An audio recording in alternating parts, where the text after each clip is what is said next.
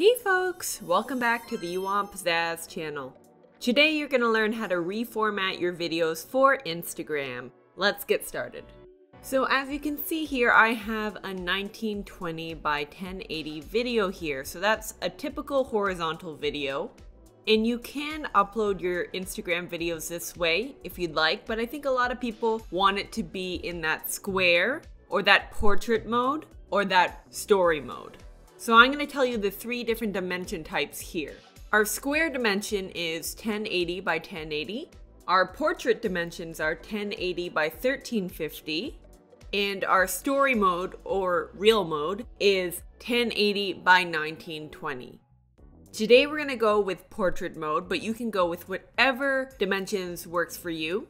We're going to start off by right clicking the sequence in the project panel and selecting duplicate and then we're going to change this title to reformat Instagram or whatever you want to call it.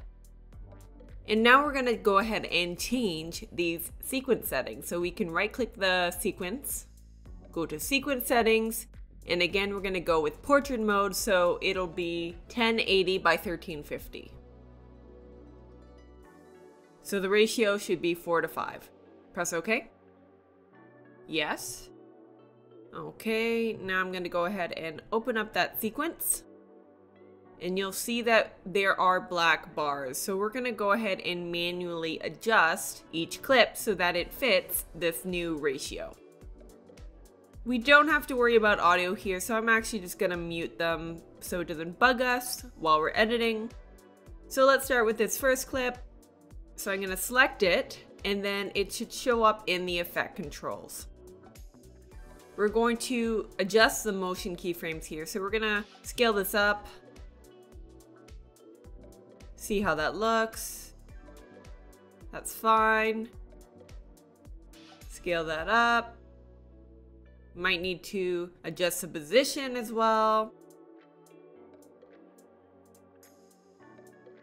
See how it looks as it plays through, as you might need to adjust it.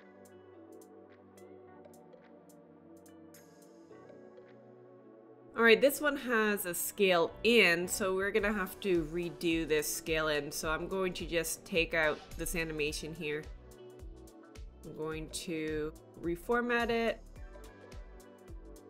And then I'm gonna add a scale in.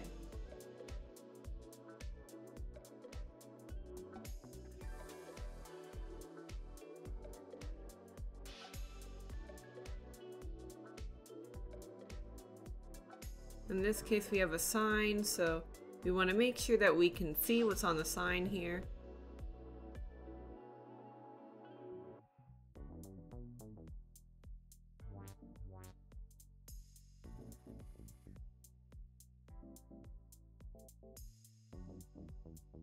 Okay, last but not least, we have this logo at the end, so I'm going to just double click this nest and we're going to just shrink this logo and look back and see how that looks. Awesome. So you'll need to do that with any logos you have, any text. You just make sure that it fits on the screen and that it's centered on the screen. And that's pretty much it folks. I hope you found this tutorial helpful. If you did, please give this video a like and subscribe to the You Want Pizzazz channel for more videos. What type of tutorial would you like to see next? Please let me know in the comments below. Have a great day folks!